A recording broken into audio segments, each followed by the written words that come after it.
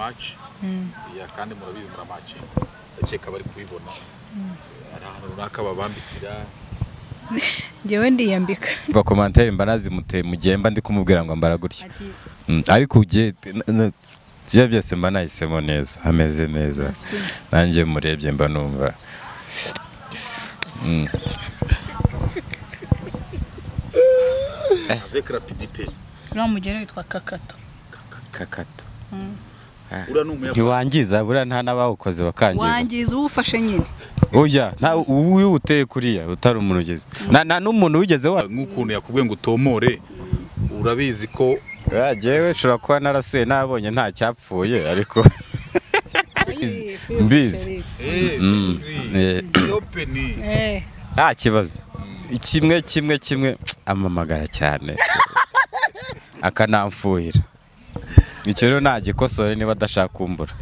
Wamaze nk'iminsi ngahe kanimba? Uyu nguyu ni uwa kabiri n'igice.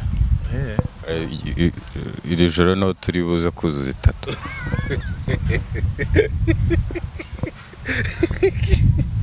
Rero oya sore. Ndamukumbura bya hatari. Mm, ndamukumbura bya hatari. Gutese kutagira Ariko ngo ubone ko nkumbura ni ukubeshya. Ariko mu gihe adahari eh, ndiragwa mu nda. Alright, reka nanone twongere twikaze twizere kumeze neza cyane cyane cyane cyane. Aho waba uri hose gahunda zitandukanye ari fresh kabisa ibintu ni bomba clat. Niba bomba clat ari umuntu wabonye nabonye kuri comment ambwira ngo uzi icyo bomba clat bisobanuye. Simbizi mba numva bisa kuvuga ari nka swagatu. Ari ibintu bitwika. Uyu munsi tukaba tugize amahirwe n'umugisha wo kuba twongera kuganira n'aba bantu babiri murabazi eh, couple y'ibihe byose couple y'imyaka yose. Kanimba ari kumwe na Soleil Imana ibaho umugisha cyane kutwemerera ko twongera kuganira namwe. Hanyuma ikindi ah, uyu munsi turaza kuza gusaba kanimba agerageze mu biganiro ushaka uba umukapo cyane. Umukapo nimba uri kumwe uri kumwe na mwenyamari ntabwo tuba tubizi ariko uyu munsi twizere kuri bwire kure kabisa. Eh uyu munsi biraba bomba clat. Nuko nguko hanyuma ah, tugiye kuba tuganira bari kutureba nuko nguko iyi niyo episode y'uyu munsi tubaha ikaze hanyuma duhera kuri kanimba ah, umeze neza. Fresh. Kuri swag ndazibona nk'ibisanzwe eh, ibintu bijyanye eba swag uri kuri swag byo ni ibintu byawe. Yes hanyuma Soleil nawe reka twikaze. Murakoze cyane. Umeze neza? Wisava ko mwabuze shiriko twabuze turari imana turari nuko turari twa- twari twategereje ngo mudukumbure mugiye mu duki muri ino minsi dutangiye 2022 um, tangiye kugenda tubabona muhuduye mu du- udushinga tuba turi aho ngaho ni nko tuba uri tayari aradusubiza dufashe Agiye- kwanga kubivuga kandi duhora tubiganira oya nabivuge Aya niba bivuga n'igihe bamaze kubaza. Ubaje nde maribu ndabaza uwo muryango. Eh. Umukuru w'umuryango navuge famiye karimba jack. um- umushinga uturaje ishinga ni igikwe Eh. ubu noneho uzahita wemera ukubite inuze hasi. Cyangwa wararikubise ahubwo. Api eh tuzabamenyesha. Alright nuko nguko ariko rero biri serious cyo uh, biranugwandugwa biranavugwa cyane cyane ku mbuga. Yego. Mm. Ha, gahunda ziteye gute? Tukubona cyane cyane muri ino minsi biraneze abakinnyi b'amafilme bari kugenda barongorwa abandi barongora cyane. Yego birahari cyane ariko kubera ibihe turimo hari igihe bihinduka. So gahunda ntiturayifata turashaka kuzareba ibiri imbere tukabona kubipanga. Niko biri? Yego, ibyo avuze na- niko bimeze. ese ko muri ubwitonzi bwakwishe none sinitonda hakuma ni bwo wagire ntabwo nitonda se ariko mwese ndabona mwitonze aba bantu mu kanya turi baje mu kiganiro nabonaga bafite morale. Sinzi niba dukoreshe mikrofone kamera tuyikureho se bazi. Eh? Eh? yego mani nyine ni ukwitonda nyine ni byo bigezweho. Basigaye bavuga ngo abantu ngo baba baririmbyi ngo abantu bakina amafilime ngo usanga kenshi na kenshi ebana yaba umukobwa batagatinga diaspora yaba umu- umuhungu batagatinga diaspora niko biri siko namwe rega mukurikirana amakuru usibye ko muba mubirimo kanimba natubwire. Jewe ikibazo iyo diaspora ipfa kuba tuvuge nk'ubu ngubu ndi umunyarwanda. Na sore ni umunyarwanda. Niyo diaspora keretse wenda uvuze ngo n'ubundi atari umunyarwanda. So ubwo rero diaspora. Nuko utuye Kacyiru ukimuka ukajya gutura igikoni. Ni uguhindura miriye gusa Ibi ubundi baba muri ariko bamwe ariko n'akanyoni katagurutse ntikamenya iyo bweze. cyane. Ugize amahirwe ujya mu rukundo rukazana izindi avantage. Eh, nta muntu rero wanga ibyisumbuyeho ubu se sore ko yagiye yaragiye gushaka. Ni ikibazo. Ko yahoragayo buri gihe indege? Mm. eh ntabwo nanjye wangezayo ese se- ntiyajyaga mu kazi ka? Mm. Eh, hari igihe ujyayo ugiye mu kazi? Mu kazi ariko ukagaruka narijya bitumvikana neza mukahe mu kahe Kuko kazi? erega ibintu byose muri kuvuga tunabibona ku mbuga. Yego. Ah, hari igihe ujya kumva ukumva ngo yagiye sijui ngo Nigeria sijui Dubai. None se ndashaka kukubaza. Ninde wakubwiye ko iteka ryose amakuru yose y'umuntu agomba guhora kuri social media? Akurabiza baba. Bibaho. Wewe wenda we ntabwo wigeze uyashyira kuri social media. Ahubwo se wowe uranabizi ko nagiye? Ntabisi byumvishije hano. Mbimenye hano kuri social media. Ibyo biba bizwi nkatwe ba hafi. privacy y'umuntu igiye yubahwa. Mm, nige n'umuryango we tubizi. Mm. ariko privacy rero kenshi na kenshi tunajya tunabigarukaho urabona ku ku bantu bafite ukuntu bagiye ku mbuga wenda bakamenyekana byanze bikunze baba bafite privacy birumvikana. Nari na cyo wenda tu- tukigire serious ho gatoya. Ntabwo bijya bibabangamira kuba wenda hari ubuzima bundi butari ubwa social media bwajya hanze tureke mwebwe tuvuge no ku yindi sura y'abantu bandi bari ku mbuga. Privacy wumva kanimba itagomba kujya hanze wayiduhaho urugero. Ya yindi wumva ko ari iyawe n'abantu bawe ba hafi. Icya mbere ni ubuzima bwanjye ndetse n'umuryango wanjye.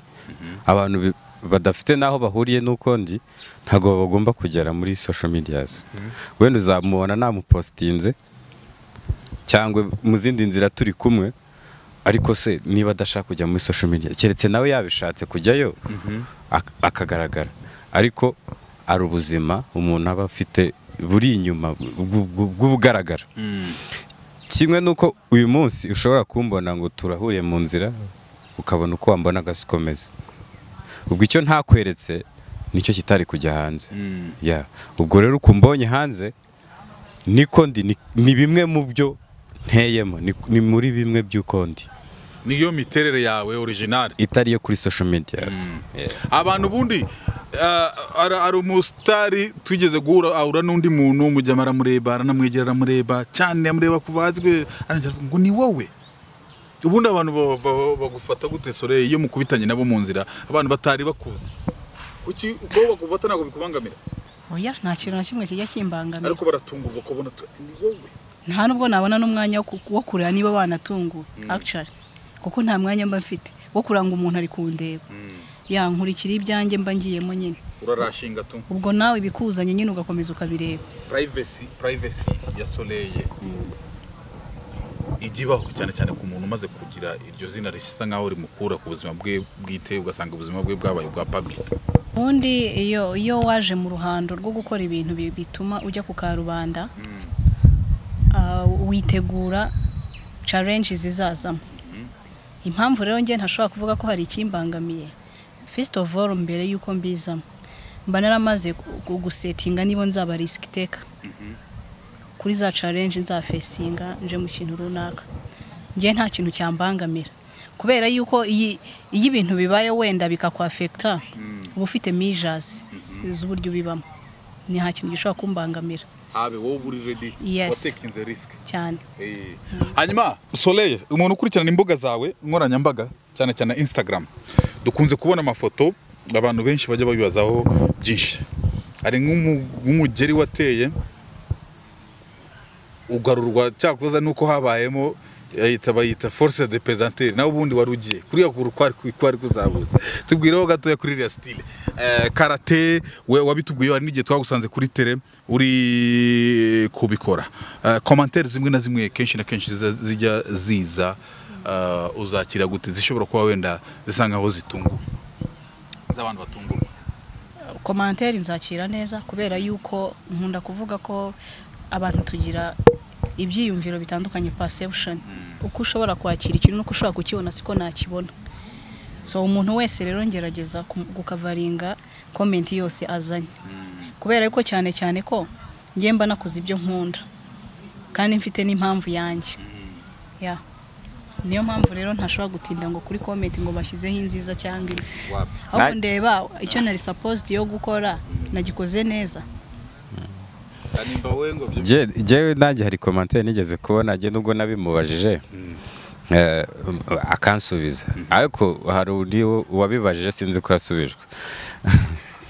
Eh, none se yarabajije ngo buriya nta cyapfuye nta gipfa. Kuvuga utomore gutomora kundi iyo ukubise umugeri nk'uriya. Kuzimiza eh, ariko nawe jya wumva. Uzi igipfa icyo ari cyo Eh. ubwo umuntu naba nkubise umugeri ni we wapfa. Nta kindi gipfa. Hariya nta muntu wari ni uwukubise demonstration iriya demonstration rapide. Mm. Eh. avec rapidité. Uriya mugeri witwa kakato. Kakato. Ni umuyapani ntiwangiza buriya nta n'abawukoze bakangiza. Wangiza uwufashe nyine. Oya nta uwo uteye kuriya utari umuntu ugeze. Nta nta n'umuntu wigeze wangiza mu oya ntawe. Nizeye ko wakibajije namusubirije Eh. oya namubajije. ariko buriya wenda kanimba ntabwo ari kwerura nk'ukuntu yakubwiye ngo utomore. Urabizi ko Oya, jewe nshobora kuba narasuye nabonye nta cyapfuye ariko abayubahirije ntibavuga bavuga. Mm? abagerageje kwinjira mu nshoberamahanga. Ariko nyine umuntu wese ashobora kwibaza wenda ntago eh ariko ari atizi ubora uriya mugeni ni ngo ni kakato ni umuyapani ni umushinwa. noneho nawe bigize komedi oya kakato ariko kakato ndumva ari ikiyapani umuntu akibaza uh, Soleil tugeze kuganira kuri izo gahunda zijyanye n'imigeri na karate. Utubwira ko soon icyo gihe wari uri kumwe n'umuntu ni, sensei ndakeka. Eh, mutubwira ko bigiye no gutangira. Byaheze hehe oya ibikorwa twarabikoze ah, twishyize hamwe dufungura icyo bise ishuri. Iyo bita kigali elite sport academy. Ah, ni ishuri ryigisha abana karate dufitemo gym dufitemo taekwondo dufitemo kungufu harimo disipurine nyinshi zitandukanye. Ya tukaba dukorera kicukiro muri floor ya gatanu. Usibye wenda ko Kicukiro muri floor ya gatanu nyubako? Iyi mu isoko. Eh. ku nyubako y'isoko muri floor ya gatanu. Eh. ni ho kigali elite sport academy iri. Uwashaka wese yadusura. Niho ibikorwa biri ni byo bikorwa twari tubabikiye. Ariko covid ikaba yaraje kudukoma mu nkokora kubera ingamba zasohotse za siporo twabaye dusa na- n'abahagaritse kugira ngo igikorwa cyo cyaratangiye? Cyaratangiye. Okay. kanimba wowe ubundi siporo ukunda ni iyihe? Kuri ubu rero siporo nari ntarahitamo ariko ngiye kujya muri karate. Hazagira uwongera kunyegera noneho. Uriya mugeni ningumenya nanjye nkajya mbibasha kuriya kakato ariko ajya nakwangiza zimwe mu na- ni amwe mu maproje na mfite iyo niyo ya mbere yabashije gusohoka ariko n'izindi ndacyazikoraho. Yeah. kanimba ni iki kenshi na kenshi tumaze gukora ibiganiro byinshi ni kenshi twagiye tuganira ku biganiro byinshi bitandukanye. Soleil ni iki wumva agomba kujya akosora cyane cyane mu mubano wawe nawe hano tube tube open hari ibintu byinshi ashobora kuba ajya abikora n'ubimubwira ariko hano urabimubwira. Soleil ni iki agomba gukosora cyane mu mibanire yawe nawe? Icyo kibazo kirakomeye. Cyane. Nari nda- keretse wenda nagite- nabiteguye na- mbizi mbizi. Eh, Mm. Eh. Eh, nta kibazo. Kimwe kimwe kimwe amamagara cyane. Akanamfuhira. Icyo rero nagikosore niba adashaka kumbura. Eh. oya ahubwo nakaza umurego. Uragira ngo bazakuntware. Nagikosore niba adashaka kumbura. Ngo arampamagara cyane akanamfuhira. Ahubwo mboneraho kubwira abantu bose ba- baca inyuma y'amarido mugirana utuntu tw'utugahunda tudasobanutse. Eh, twongere amarido. Ariko njyewe reka mbabwire njyewe ndi meze nk'undi muntu wese uri kureba ikiganiro. Umubano wanyu ni siriyasi tube siriyasi kabisa. Tureke ku kuko hari ukuntu mu buganira gutya natwe bikaducanga. Umubano wanyu ni siriyasi byatari. Ni bya bindi bajya bavuga ati uwawe ni umunya ariko se reka nkubwire kubera iki muba mushaka kuvumba yo mwengewe ubaye umuvumbyi abo kuvumba ari amarwa gusa. natumiwe ntabwo urumva ko ari ayo.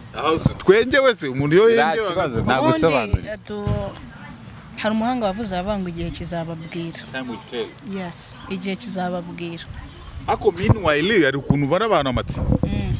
umubano ni seri ni seriye Eh, ni sege tubanye neza nta kibazo. Gusa nta kibazo dufitanye. Nyine ntacyo ariko nyine hari abantu bizi bajya bavuga kandi tuba twabonye na komantere nyinshi. Ati kanimba rwose ni ukuri we imana itubabarire muraberanye tuzanabatwerera kandi ahubwo se bigeze.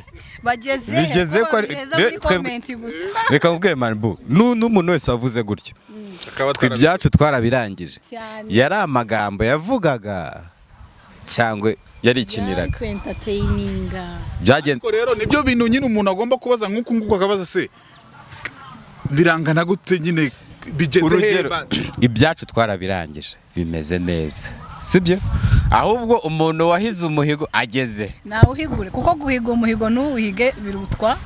No kutawuhiga. Mwarabirangije gute koma? Icyo kintu yatubazaga twarakirangije. Mwarabanye? Ntabwo byavuze kubana yaravuze ngo mutegure ubukwe. Tuzigeze kandi tuzigeze kure. Niwe ubura. Nta naga save the date turabona hanze imyitegurire ari ariko se kubera iki wumva ko tugomba gusohora save the date.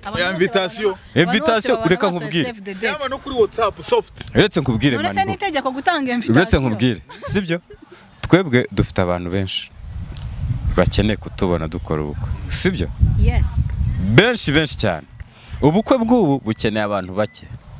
Urashaka ngo uzasibe mu bukwe bwanjye? Oya twangiza amafaranga dukoresha urashaka z'abantu batazaza mu batazaza mu bukwe? N'ekonomi reka tubanze turebe aho bigeze. Byibura reka dufate wenda ingamba ya kabiri izakurikira kuri iyi ngiyi. Eh. Turebe uko iyo bimeze Kuko- numvise bavuga ngo uyu mwaka ni uwa nyuma kuri ngo mwebwe dutegereze ko Abantu mutegereze ko covid. bibiri bazataha ubukwe bwacu kandi twemerera abantu mirongo ine. Mbese dukoresha invitation tuyihe umuntu utazataha ubukwe? Ni buzabanga bwabo ni bwa super manager we. Amarajya ari bizi ubu ngubu ari mu kuba misita arabamara yatubwiye ko n'akajugujugu izarinda umutekano mu rwego rwo kugira ngo mwemera mubonye ni cyo kibazo. Oya ntabwo ari ko bimeze manibu umuntu wese ufite kuri icyo kibazo ni we ubura ngo atahe ubukwe. Ikindi kibura ni ingamba zizakurikiraho yes. Hanyuma se kanimba wenda eh, wenda ntabinjiriye cyane aho ngaho ku byawe ku giti cyawe kuki wowe utiyandikishije muri Mr Rwanda? Ntabwo ntabwo nta- ntabwo byavamo Tu- kabisa. urimo managinga kandi manager yarabirebye nyine abona ntabwo akwiye kujyamo. Eh, yararebye abona ubwiza si bukwiye. Arareba abona uburebure ndaburengeje. Arareba ukuboko. Kuzaza icyo gihe muri misita kandi abandi baragusangamo. Nimujya muri bootcamp. Kandi iyo twinjiye mu mishinga tuba dushaka yuko iba successful. Kandi harimo na- na- na- na- na- n'ibintu byinshi. Harimo n'imodoka n'ibindi byinshi. Oya imodoka Imo- yari ifite si ikibazo imodoka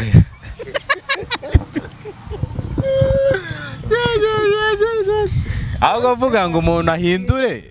Cyangwa atunge ebyiri. Oya ariko uyu mwaka turagura indi nta kibazo ni ukwangiza sibyo? Kandi urabona i- eh, shera agiye mu modoka ya misita atari misita ni ikibazo. Eh, ariko nyine let's be serious gato kandi na- na- na- na nuze na na miss na miss na yo ubu yagejeje ku myaka mirongo itatu. Kandi nawe u- ufite ufite brain ufite beauty wajya muri miss rwanda ntabwo nabishobora. Ntabwo nabibasha ngewe ntabwo wabasha sinabasha nuko batambuka. Ntabwo nabishobora. urabyiga. Urabyiga Sinzi no kwifotoza. it- is a very good opportunity yo kwigaragaza. ariko mu- babyandikiwe ntarimo kuko yafashe icyemezo. Mm, nafashe icyemezo. Hariya ni- ni ifaranga babare batanga hariya abantu bari singo kandi ngiye kanimba arahari badafite n'abakunzi n'ababoyfriend. Ese urumva namushyira he? Nahita nseza amasezerano se? Ariko aka kaka twizere ko katazarangira mutabisoje nta kaka kabaho haba umwe Ah, ah, Maribu, icyo kintu ahubwo kirangire. Twebwe ibyacu nabizi bigeze ku yes ibyacu ahubwo se nta kuntu nta kuntu kuri kuri hahandi bajya bashira bapininga nimero. Oya nta bintu byo gupininga byo gupininga nimero No. washiraho iyawe ukajya utubwira tuyohereje Erega ufite ubushake bwo gutwerera abantu. Ntagabura amayira. Utazavuga ngo narayatamiye no. eh urabyanze. Eh, okay ndabizi. dufite umushuti wacu wacu tuzabiha akabikora. Ntacyo niba udukatiye ese ku- ese Ki. ese Yitwa Juma Instagram yitwa Wilson kuko kenshi na kenshi uzasanga wenda abantu basakinga kanimba bakakanakubura ya na kanimba ririho ariko. Mm. Eh, kugira ngo na- amazina y'abazungu. Nakuyeho nimero kari wings wings wings 250 urumva wings udafite inyinya ku mpande. Udafite inyinya ku mpande ntabwo wa- wa- wabasha wings kuriva wings Wings. wings 250 yeah. Mm. ngubu. Burya hari hari username hakaba n'izina nyine ryawe. Sibyo? So iyo usacinze izina ryanjye mazimaka wilson uhita uribonaho n'iryo ngiryo usibye kuba wenda haraje covid hakazamo n'imbogamizi nyinshi zitandukanye n'ibindi n'ibindi uheruka gusenga ryari? Eh? Uheruka mu rusengero ryari? Mu nzu y'imana? Mikoro yapfuye mikoro yapfuye man bro. ubwo ari ukuvuga? Eh? bakuvuga tu ntacyo barafata bya yindi bita ambiyanse ntabwo bari kubyumva ntabwo bari kubyumva. Sole uheruka mu rusengero? Yes. Dimanche narindi Mm. kanimba binamuteye isoni ntabwo binteye isoni Urusengero ni iki? ntamusengera. hari igihe ntumayo muramusengera muramusengera hari ukuntu ushobora kuvuga ngo ngo ngo mu rusengero ngo umuntu yasengeye mu mutima biba bihwanye. Oya urusengero ni iteraniro naho abantu bateranira. Sibyo? Ariko hari ukuntu umuntu asenga ku giti cye. Ubwo ni ukuvuga ngo wowe ugira gutya ukiterana. Njyewe ndasenga. Sibyo? Ahubwo guterana hari igihe mba ntaherukayo nkamutuma ariko akora imirimo y'imana kuko n'ijambo ry'imana riratubwira ngo kwizera kutagira imirimo kuba gupfuye. Hari ubushize dukorana ikiganiro kanimba yaratubwiye ko eh, ikintu cyitwa agacupa yari nimba yarakiretse nimba atarigeze agasoma ubu ngubu ntabwo wenda wakize. Oya oya. Byaranze. Byaranze nasanze atari ibintu byanjye. Mm. Warakanyweye guteza abantu kuko bijya bibaho jye niyo numvise ara- ngira inshuti nyinshi zisoma agacupa. Niyo numvise umuntu atuze nk'umubi cyangwa kagahumura ku kindi gice mba numva bitarya. Eyeyeyeye paul sana ubu ntabwo ujya ukoraho Sha- tss, wapi. ubu se ko bajya bavuga ngo umugabo udasoma ku gacupa ngo buriya. Kera ngo aba- abana bakubitirwa kunywa agacupa bakababwira ngo muzanywe inzoga ntimuzabimbwamo abana Ubwo- ubwo katanywa icupa buriya ntago. Umugabo ntabwo agirwa umugabo nuko anywa icupa. Barabibabwiraga ntabwo babikubwiye kanimba bande nyine bande. ababyeyi ba kera? jye naku- ibimenyetso nta cyabaye beta jye- uzanywa jye agacupa. nakuriye mu muryango uta- utanywa inzoga. Umugabo ntabwo Niyo mpamvu umugabo bikinkurikira. yanyoye icupa. Eh, umugabo agirwa umugabo n'ibikorwa yakoze. N'uburyo yitaye ku rugo rwe. Nta kuntu utamuvugira neza. Ariko umuco nyarwanda niko tubwira ko bura somaho sha utazabimbwa biterwa n'icyo umuntu yizereramo. Nyine ariko nyuma urahinduka ariko nawe barakubwira ako kantu. Gute? Nasomaho utazabimbwa none se ngiye bambwa ngo nsomeho ntazabimbwa nari umugabo. Eh. oya jye nsoma ku nsoma ku mata nzaba inka. Ni ukuvuga ngo noneho iyo ushaka hahandi bavuga ngo gusohoka. Iyo userebuye userebura amakazi ya fanta aba yuzuye n'amata. Eba nafata rawundi zaba icumi nanjye zizana. Mm. champagne. Akunda kofi Eh, na champagne ntabwo nyikunda cyane. Nkunda ibintu bya fanta ibintu biryohera cyane. Agakofi nako ni gake ariko karimo urusukari rwinshi niba rujyamo. Rujyamo isukari rwinshi.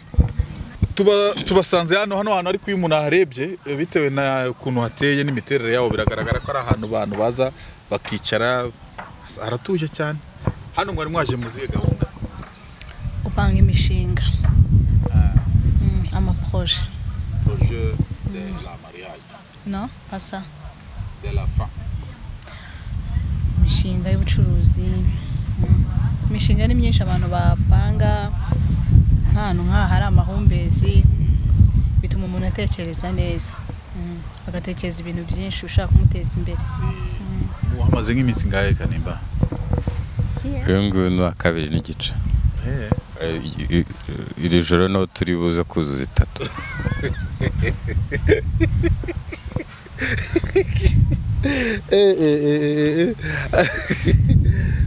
Kubera igize bisekeje sore bigasa ngo bikora inuza Yes. Hanyuma noneho wenda tuve muri ibyo ngibyo tugaruke inyuma ho gatoya kanimba turakubona ah, cyane cyane uracyari gukina ariko Soleil muri ino minsi afite pose yiwe yashyizeho ah, combination.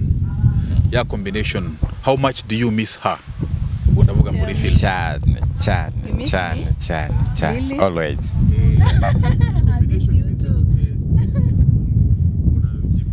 Ah, n'ubu nariba ariko n'ubu nariba ni fresh. Mm.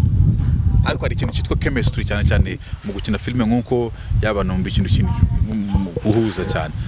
Ha- hajemo akantu Ya, n'ubu nta kibazo. Twari umuntu byaraje byaraje byabaye sawa. Mm.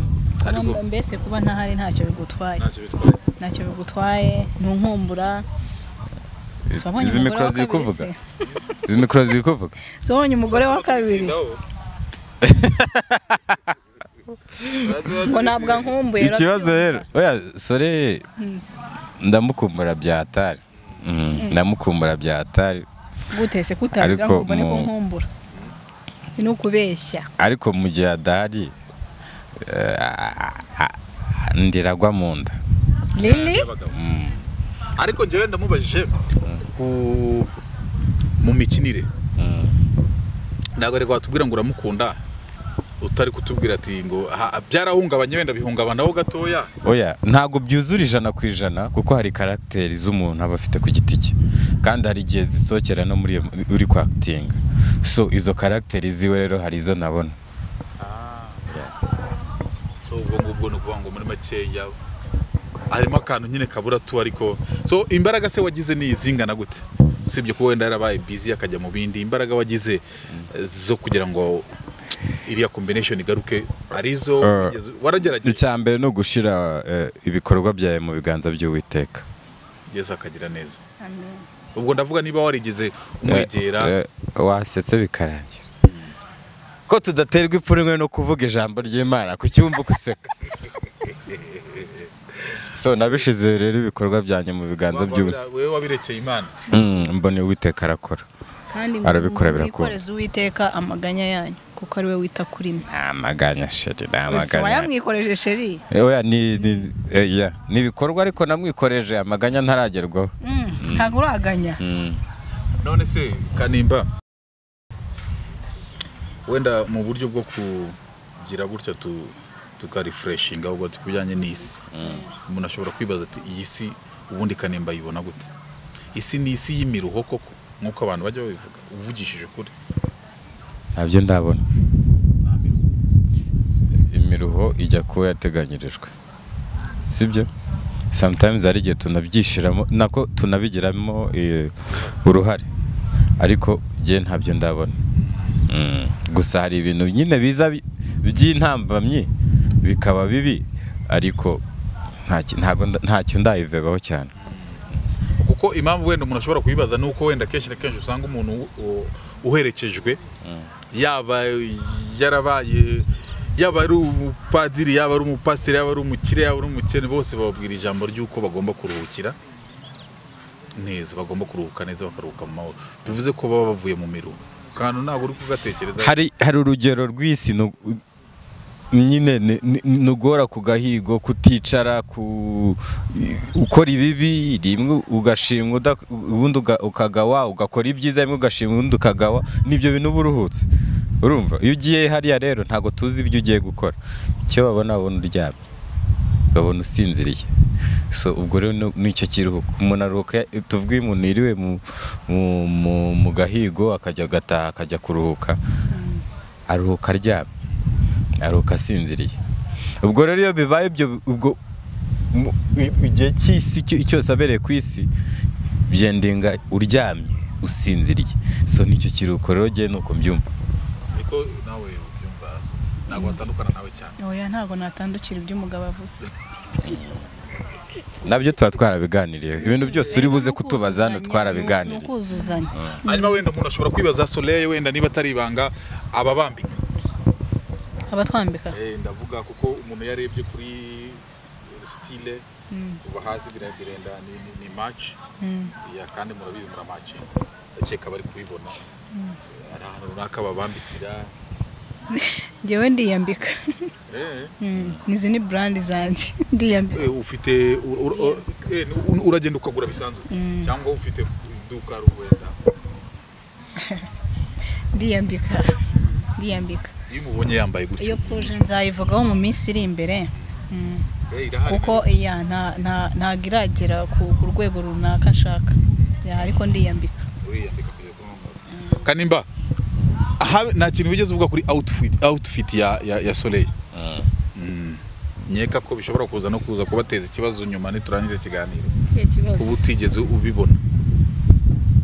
Ntago wabimpitiyemo nijya ubihitamo ntago nta wundi yambwiye turambara gutya uyu munsi sheri Eh. so urumva komantere mba nazimuteye mu gihe mba ndi kumubwira ngo mbara gutya Mm, ariko ugiye ibyo byose mba nahisemo neza hameze neza. Nanjye murebye mba numva. Mm.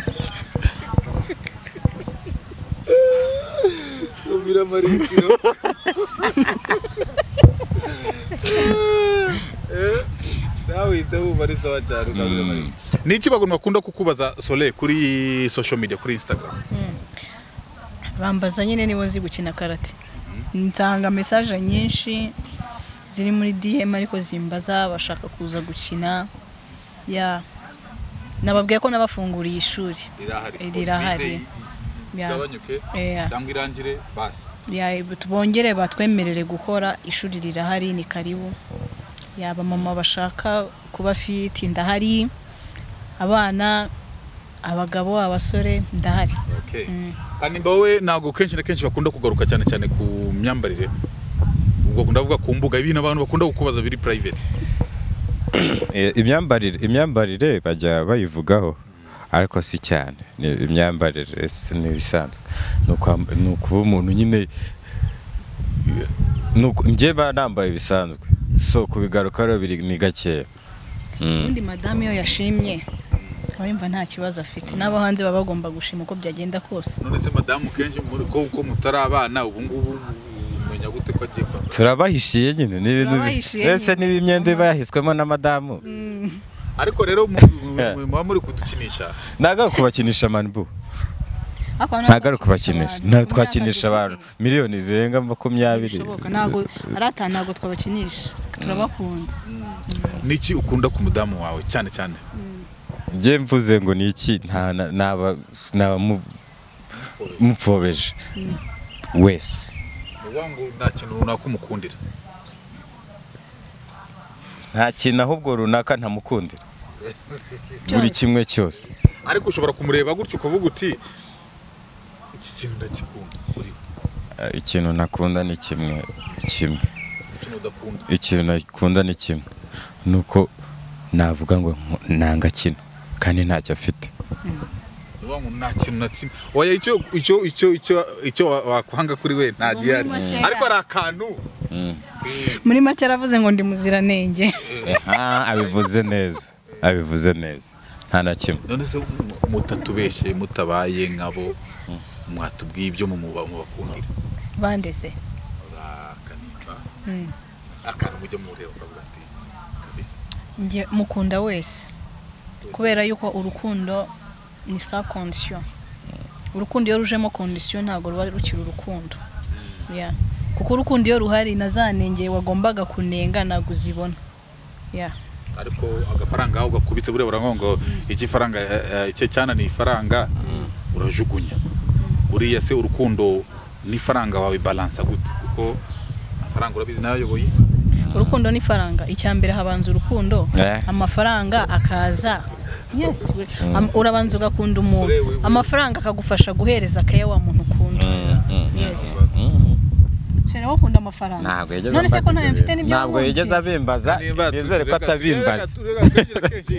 We kiriya kuri no po- shape reka nkubwize ukuri amafaranga nta kintu adakora.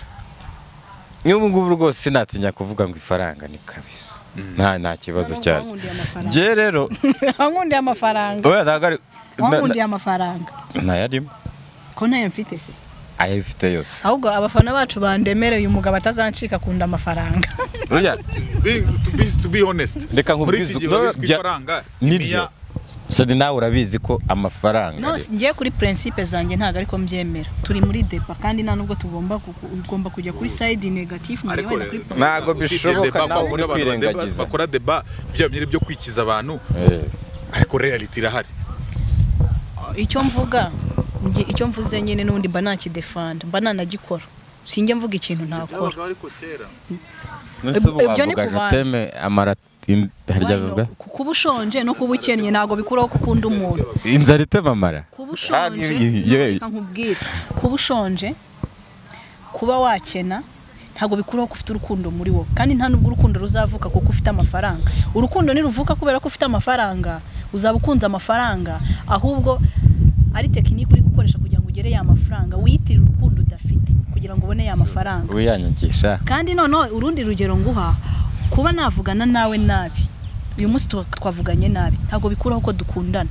Ni agaciyemo ejo bizongera. Urukundo ruhahame. Are you getting me where yeah.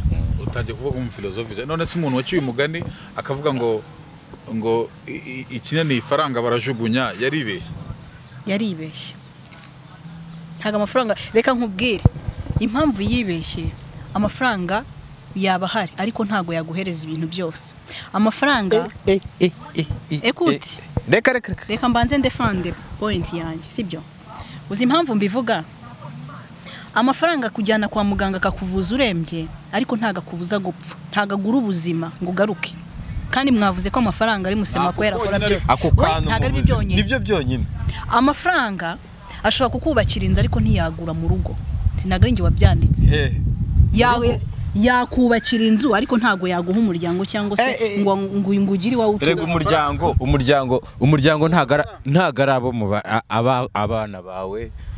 Ntago ari ababyeyi bawe. Gusa yego abo ni umuryango. Ariko iyo ni choice ukora bwa kabiri kuko ibya mbere biba byanze. Kandi si kuba wabyifuza erega si ngombwa ngo ibintu bibe bimwe. Kandi reka ufite amafaranga ugira abapampe. Umva? Njye ntabwo twemeranye umuryango usibye kugura ubuzima. Ariko nako amafaranga. Kandi wavuze ko amafaranga nta kintu adakora. Nyine okay eh mu minsi iri imbere nta kintu atazakora. amafaranga atagura ubuzima. Usibye bwonyine. none mu- gihe- ufite ubuzima si ukeneye iki kindi? Ama- ndeka kukubwira warwaye hamwe uba ugeze kuri puefe nawe uri kuri Oya, za nanjye nanjye ufite ayo mafaranga. Urayatanga ukagaruka. Bikakubuza gupfa. Uragaruka. Muri iki gihe hano hanze ubona ugenda. Hari abantu barwara umwijima. Ngo basigaye bakora amatransplant mwe nk'uko wafata imodoka n'umutima babonye uwo bashyizeho umutima w'ingurube. Ni nk'uko wafata imodoka ya jumapiro ugashyiramo moteri y'ijipe ubwo rero biragutegeka reka nkubwire inshuti zanjye sibyo ntago twaba twarabonye abantu bapfuye kandi ari ibihangange bari bafite amafaranga bakayasiga. Niba koko amafaranga agura ubuzima ufite amafaranga nta kintu ashobora kubura. Erega wowe udafite ubuzima urakenera amafaranga y'iki? Ariko mu gihe uba ufite no no ni exception wisubiyeho oya ntabwo Ni nisubi ukuvuga ngo umuntu nono ufite ubuzima n'amafaranga n'amafaranga. agura byose akora byose. Impamvu ni akora byose. Aragarura kuko akora byose. Mm-mm. Na- na bya na yo navuze ahubwo ngo ngo ngo ntagura ubuzima. Utaba ufite se ugakenera amafaranga y'iki? Ntabwo. Kamubwiza ukuri waba wagira gutya wicaye hasi wabuze wabuze interinete? agura byose. Urumva wabuze cyangwa bonomo We, ha, uri buze kureba umupira wa Arsenal. Eh. sibyo? Ukabura bonomo ariko nawumvira kuri radiyo yes. Cyangwa ukaza kureba rezilita na nkareba rezilita kuri live score. Eh, uwo mwanya uba umeze ute? Uwo mwanya umupira uri kuba wishyize ibintu byose urabyakira. Wiga kwakira ibintu byose ukabana. Sore reka kutubwira ko wakwakira situwasiyo zitari nziza. Why not? Amafaranga everything. Reka kuba udafite amafaranga uziyahure noneho. Uya. Icyo gi- Urayashaka. ibyo kwiyahura ntabwo bigurwa amafaranga reka. Reka da ntabwo biri mu kazi k'amafaranga. Nabyo ari ukwiyahura ukabona amafaranga. Wabikora. Sinemeranywa namwe ariko. Eh, umuntu yiyahuye akabona amafaranga wabikora. Ntabwo umuntu ufite amafaranga abona byose akeneye. Usibye nta na kimwe ahubwo utabona. Ubuzima ahubwo si udafite ubuzima ukeneye amafaranga amafaranga kujyana ku ishuri Mm. ukishyura amashuri ukiga ukishyura amayuniverisite ukiga ariko amafaranga ntabwo ushyiramo ubwenge mu mutwe. Papa bwiye iki ufite amafaranga? amafaranga wayatanga ukeneye ubwenge bakaguha diporome Eh. ukayigura amafaranga ukayatanga ukeneye ubwenge ufite bakagukorera amafaranga. homework, kandi umuntu ariko amafaranga ntiyaguha Oh. ujya kwiga kugira ngo umenye ubwenge ubwenge buzagufashe gukora amafaranga. Ukeneye ubwenge none se nta bantu ba- bapfanye ubwenge badafite amafaranga? Ubwo si ubwo bwaba bumumariye iki? Ubwo nta bwenge burimo. None se ni gute ufite ubwenge ukabura ndakubwiye nti waba ahubwo ufite ubwenge gute ukabura amafaranga? Uwampa amafaranga ubwenge ubwenge turi ukabunyemo kuvuga ni ubuhe? Keretse nimba muri kuvuga ubwo mu ishuri. Ubwenge waba ufite ukabura amafaranga Waba ah, nta muntu n'umwe utagira ubwenge ahubwo bukoreshwa gute? Hari igihe ubukoresha ahatari ngombwa ugasanga wi- wisanzura uri wrong. Ariko nyine ntubone icyo eh, washakaga Soleil birumvikana kuri ino ngingo wenda abantu biratuma bavuga ko wenda udakunda amafaranga ariko Eh, eh, eh, eh, eh, eh, Nta. Si- muntu utayakunda nanjye nkunda amafaranga. Ariko sinyashyira imbere kuruta abantu. Eh, usibye wowe nashize imbere kuyarusha ariko reka nkubwo ako na yo nureba nawe arakujya imbere. nureba nawe arakujya imbere. Uzi impamvu yanshyize imbere ngo ni amafaranga? Kandi ntabwo ariko banza uri imbere. Amafaranga Sore, ni ukuri pe uri imbere. Ariko nawe nureba gatoya ubwo nyine nashira. Urajya nyuma yayo. Urareba muri iki gihe wenda Soleil tunagarutse muri realite mukina filime murazwi ariko rero hari n'ibintu mu- muvuga mukagira muka- bika- bikaba nk'inama. Murabizi wenda ntabwo murashaka ariko muri muri iyo Tugiye Muri mu gushaka. nzira. muri mu nzira zo gushaka ntabwo bijya bibatera ubwoba kubona gira mu minsi yashize mubona ku mbuga ukajya kubona ukabona ati kanimba yagiye gukorera i Musanze wenda akubiseho iminsi ibiri umunsi wa gatatu agarutse atakubwiye agasanga mu cyumba cyari kuvamo undi muniga. Biriya bintu ntabwo bijya bibatera ubwoba. Ubwo urumva niba umuntu aba afite umuntu yahaye icyizere akamubeshya ko yamuhaye urukundo? Yabona arenze umutaro arenze irembo akinjiza abandi bisobanuye ko atigeze amukunda.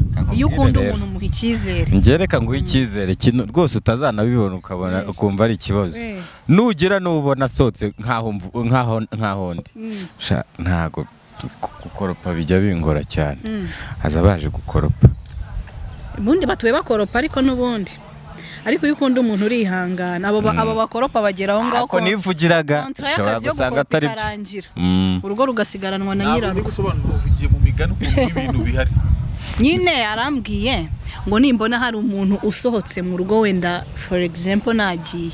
Nkagaruka nkasanga hari umuntu usohotse azaba yaje gukoropa. Nanjye ndamubwira nti nta kibazo. Abo bantu kontra yabo izajya irangire yo gukoropa kuko akazi si permanent. Ntabwo ari permanent. Yeah. ahubwo icyo gihe usaba imana zo kuguha imbaraga kugira ngo wihanganire ba bandi bakoropa. Mm. kandi mba natubwire kuri kuri kuri iriya nkuru warayibonye. Iriya situwasiyo ku muntu na nkawe uteganya vuba ko wagira gutya nawe ba ugashyira amago ikintu nabivugaho rero jyewe narabibonye. Gusa n'ukuri jyewe ubu ngubu si- ntabwo ndamenya ahantu kuri kuri kubera ko umugore avuga ibye umugabo akavuga ibye. Ariko igihe kintu navugaho kitanarenze kabisa. Ibibazo biri mu miryango ni byinshi. Kandi biri mu miryango myinshi. Mu rwego rwo gukemura ikibazo ntabwo ari ukujya mu itangazamakuru. Sibyo iyo ugiye mu itangazamakuru abantu bagufata ukundi. Kandi namwe muba mushaka inkuru. Mushobora gutuma umuntu yivamo akavuga ijambo atazagarura mu buzima bwe na bumwe. Kandi ikindi bashobora kuba uyu munsi bari gushwana kuriya bavuga ngo karenze umunwa karushya ihamagara. Mm. hari story nigeze kumva ngo uyu mugabo ngo afite ngo afite ngo abuzukuruza. Abuzukuruza. Inde? Niba ari hari anabibonye ngo afite abuzukuruza. Icyo kintu urakimushinjije ntabwo ari byo amaherezo azaba yayo. Ni ukuvuga ni ukuvuga. Mwebwe murakoze inkuru murabikoze birarangiye sibyo? Ariko re- bara- ni bo- mukoze akazi kanyu. N'abariya yesi bararihamagaye itangazamakuru. Mwe mwakoze akazi kanyu sibyo? Hanyuma ejo nibasubirana mukabona muzasubirayo bababwira iki? Ku kuba mwagira inama cyane cyane ahubwo abo bantu. Nibagirana ikibazo. ubanze ubagire inama mbere y'uko ukora n'iyo nkuru. Koko. Oya ntabwo bayumva. Ntabwo bayumva bari abantu ba- ahubwo ba- uba uri kubatinza ngo baterane amabuye. Ahubwo numva ari bo babitiza umurindi. Nibo babyitiriza ubundi oya ntago ntago. kuko uhamagaye umwe babiri batatu baza bakugira inama mbere yuko bakora inkuru. Wagera ukagivinga Ahubwo niwo abantu- bitiza umurindi. abantu babonye itangazamakuru ari ryo rikemura ibintu cyane kurusha ababishinzwe. Nicyo maze kubona. reka ubwo aba ariko tu- tubifata. Ariko rero cyane cyane wenda ku bi- bintu biri siriyasi numva situwasiyo nka ziriya wenda umugani ziramutse zinabaye icya mbere kigendereho ni uku- ni ukubanza gupoza mu mitima imitekerereze cyane. Bakabiha igihe. Eh, bakabiha igihe. wenda iyo bigeze kuriya haba hari izindi nyungu zindi ah, mugani ziba ziri mu muryango abantu baba batazi. Naho ubundi ntabwo ariyo solution. Kuko urumva iriya nkuru izahoraho. Zizahora hariya. Mm. urumva ntabwo ari bya bindi bya kera ngo zijya uri bisibame zizahora hariya kandi urumva zizahora zigaruka nubwo ubuzima wenda bwahinduka Cyane. Ni ukuvuga ko ibintu byasenyutse ntibikuraho ko ibintu byongera kureparwa cyangwa bikiyubaka ibyo tujye tunabimenya na byo. Kandi nanone kuba wavuze ko diyama wa- wayibonye itabye mu mase ntabwo bikuraho yuko diyama nuyikura mu masuka yose izakomeza ikaba diyama ngira ngo wenda ababasha kunyumva baranyumva. Ya, urayikuramo ukayoza ikumisha ka gaciro kayo kuko rero ukayishyira mu mase ntabwo bikuraho yuko izaba diyama. Aho wayishyira hose ihora ari diyama. Eh. ntabwo ivamo yabaye bibiri. Nta nubwo itakaza agaciro kuko yaguye mu byondo ihora ibara ari ibihumbi bitanu. So ni ukuvuga ngo eh, kosa rishobora kuba ryabaye ariko ibya mbere biba bihari byatumye abo bantu bahura urumva ko ari byo bakagombye kuba bagenderaho bakirengagiza ibindi. Hanyuma um, tugenda dusatira iminota iminota ya rara salama ubu ngubu wenda imishinga ihari igezweho cyane cyane ah, hagati yanyu niyihe. Twabaguyeho urumva ni uku nguku abantu benshi bari bakumbiye soleil wenda kanimbe basanzwe bamubona buri munsi. Um, kubabonana hari izindi projects wenda ziri gupangwa? Turahorana nk'uko nakubwiye yuko njye na metere wanjye twashinze ishuri rya karate. Ya kigali elite sport academy ubwo hari ibyo mbaganira na kanimba hari uruhare rwe.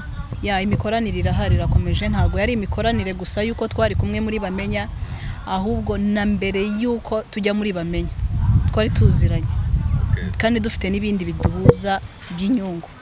Kigali kigali elite sport Academy- umuntu yara iyo graduatinze agraduatinga na agraduatinga ni ni ni ku iyihe level. Ni passage kubera yuko twigisha karate umunyeshuri atangiye afite ceinture blanche y'umweru. Ubwo rero hari imikandara myinshi nyine biterwa n'ubumenyi bwaho bugiye bugera tugategura ibizamini ugapasa ukabona umukandara. Ku bantu badashobora kuba bashobora kuba badafite ubumenyi soleil ku bijyanye na na karate. Umuntu wize karate aka- aka- kaminuza muri karate akora iki? Ntabwo ari ikibazo cyo kuminuza muri karate kuko karate ni siporo nk'izindi zose. Igufasha kumva uri muri forume igufasha ko brain yawe iba boosted. Yes discipline self defense ya ibintu byinshi. Urabona cyane kare turi kubivugaho hari ukuntu yahise avuga ngo na za impande nyine ziba zagiye ntabwo ntabwo usaza uri fit. Uri fit. Usanga ku myaka yawe itanu yaravuyeho. Yego n'icumi bishobora kuvaho bitewe n'inshuro ukora siporo. So urumva kanimba diri niyo ngiyo ariko gusa cyane cyane ku bana ni nziza kuko ibafasha kutananirwa mu mutwe ndetse no gukurikirana amasomo yabo ni mu ishuri neza. kugira ngo yige ku- kugira ngo abone imikandara cyangwa kugira ngo ayimenye ubu duhera ku myaka itatu. Mm, ku myaka itatu. Ni ukuvuga ngo ubushize twaraganiriye tuganira kuri iyo ngingo ngo uratubwira ati sun tuzabereka ngo ubu byaraje ariko usibye ko covid ariko kwiyandikisha ndakeka byo bigikomeje hari website mufite application runaka? Ya website turi kuyikora Ah, icyo dufite ubu ngubu ni instagram kigali elite sport academy. Bajyaho ni ho duhostingaho ibijyanye n'ibikorwa. Ariko suni zaza ndi gutoza turi mu gikorwa nyirizina nyine. Kovide n'ibigenjeje makeya wenda bakaturekura ku ngamba bari barafashe zo kuba bahagaritse ibintu bya siporo niba turekura uzaza udusure urebe ukuntu bimeze. So urumva ko eh, bitari eh, ibintu bisanzwe byabaye serious kandi iri shuri ryafunguwe. So we are waiting. Soon tuzaza tubatemberere turebe ukuntu byifashe. Twizera ko ari ahantu hanini kanimba nawe ubwo tuzamusanga eh, icyo navuga d- nanjye ntabwo nta bumenyi bwinshi ahubwo ni uko abantu bamfasha tukagenda tugatangira natwe tukajya. Nanjye nzatangira ejo bundi niba dukomorera afite n'ibikorwa ahagarariye by the way. Afite hoteli nziza branding. Eh hoteli wajya hoteli. muri mu- muri weekend. Eh, posting service. Novaland. Novaland. ni hoteli nziza iri gato. Irahari. Rero So- bajye baza abashaka guhura na kanimba bamusangeyo bamuteze imbere. Abakeneye amafoto kwifotoranya nawe sibyo sheri so kuri icyo kintu kuri icyo gikorwa cya cya soreye nagira ngo abantu baduteze amatwi n'amaso bamfashe bamfashe tugende dutangire natwe turebe ko twamenya Muze kuzamura umugeri kuriya. Mwiyaboneshe. Mm. ko na yo ni ibintu nshaka kabisa. Ndashaka ku- kugira kugira ubwirinzi. Nijye ni cyo nkeneye cyane. Na disipurine icyo yo ndayifite. Discipline yo ndayifite. tugambiriye disipurine disipurine mu bintu byinshi. Mu mirire. Ndabifite byose ndabifite. Icyo nkeneye ni ubwirinzi. So ubwo rero nibaze dutangire jye nanjye ubu ngo nzatangira n'umweru sinzi. Ni umweru nta bintu byo kurya ruswa ngo ni uko ngo ariko tuziranye. kandi narabajije ngo nta miyaga irimo ngo ni ugukorera sentire ni nzi ko ukubikora. ko dufite ukuntu tumeranye. Azansimbutsa wenda akangeza nko ku cyatsi. Amategeko n'amabwiriza birakurikizwa murakoze cyane. So abantu rero nimuze tugende twi- twiyandikishe dukore bazane abana. Turebe ko twa- twakora akazi. abantu bakuru mwese ingeri zose turabakira. Kandi muzishima abambuze ni ho muzajya munsanga mu biri ibyo bikorwa byanjye bishyashya. Ya Right. so ni kuri uh, ni kigali? Elite. Sport academy. Sport academy. Ni kicukiro ku isoko hariya ariko kuri etaje ya nimero ofuro ya gatanu. Nera kuri rompa ahandi hagiye kuba hari umuhanda unyura hejuru y'uwundi urumva ko umuntu azajya anyura hejuru gutya abona abantu bari Ah! Ah! So ni uko nguko sawa. Thank you very much mwakoze cyane. Iyi kapo kuyibona biba bigoye cyane bitewe n'ukuntu activity zabo ziba zifunganye n'ukuntu bari busy. n'amahirwe yo kubifuriza umwaka mushya. Njyewe na kanimba tubifurije umwaka mushya muhire wa bibiri na makumyabiri na kabiri. Yego twaratinze ariko ni ho tuboneyeho kubi bimwe biri mu byatuzanye. Imbona nkubone imana ikomeze kuba umugisha. Thank you very much. Inshallah. Ya murakoze cyane